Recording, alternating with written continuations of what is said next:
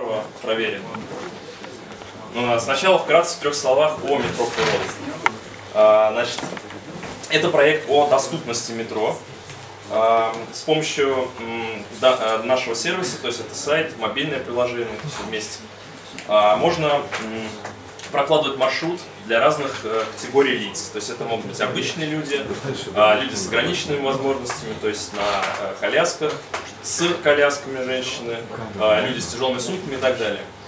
А, Главное, что это прокладка именно маршрута а, по всей инфраструктуре метро разных городов, в том числе Санкт-Петербурга.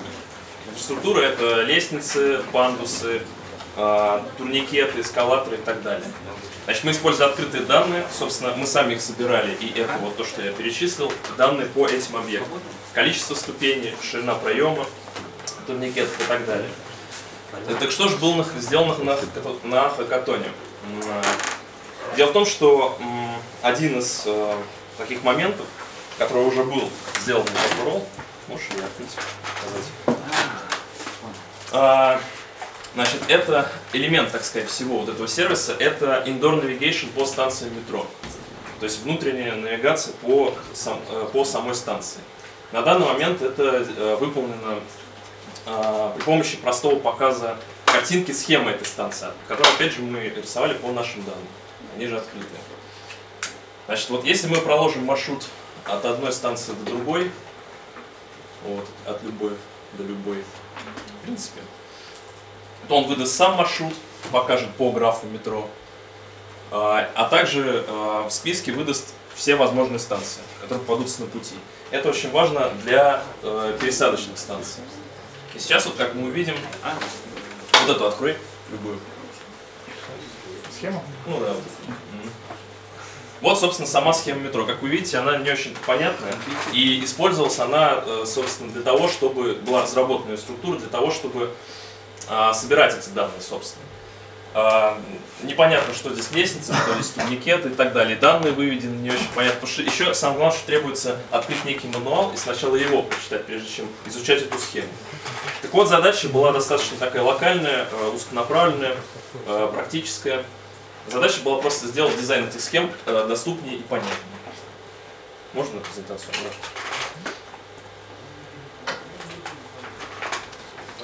Ну, в общем, э, то, что было, то, что стало. Э, Для э, примера, значит, Достоевская и Владимирская, вот этот вот пересадочный узел. Здесь немножко мелковато, я сейчас покрупнее включу.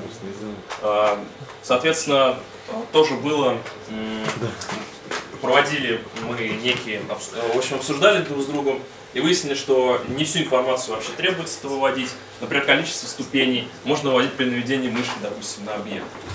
Вот. Поэтому выводим самую основную информацию. А, Дизайн стал более такой лаконичный и более наглядный. Можно там отдельную картинку открыть, нового дизайна и крупнее. Да, вот. Ну вот, в общем-то, вот так. Вот, э, немножко не видно.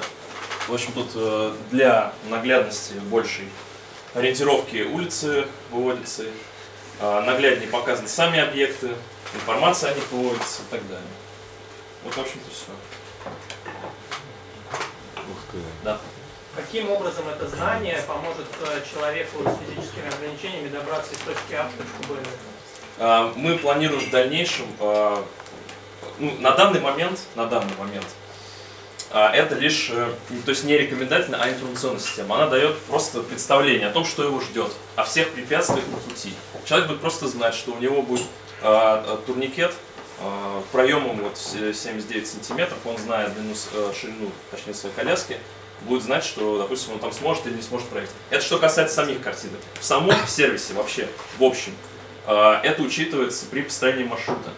И а, когда маршрут будет итоговый построен, ему просто красным подсветится вот в этой боковой, как вы помните, там, а, итоговой вот этой вот, итоговом пути, а, ему красным подсветится, а, где он не сможет проехать. Вот если мы вернемся назад и выберем профиль для инвалида. Вот здесь вверху. Да, выбираем. Значит, ну, тут зеленый, можешь вниз покрутить. Ну, надо на какую-то другую, в общем, рассчитать. Но, в общем, мы точно теперь знаем, что человек с коляской шириной 60 сантиметров может проехать по этому пути практически без препятствий.